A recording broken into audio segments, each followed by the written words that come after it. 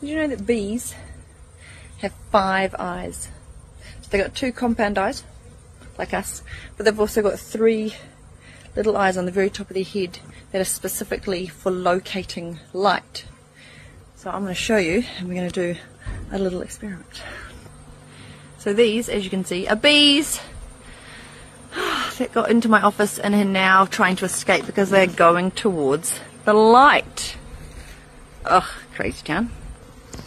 I have now temporarily, inappropriately shouting out to HelloFresh, um, I have now temporarily blocked the light from that little spot there. Do you see that? Blatantly no bees there. So, to get my bees to move to where they're supposed to go, I'm going to have to block this whole entire window up so the light doesn't come through and then hopefully they will get the memo and go out the actual window.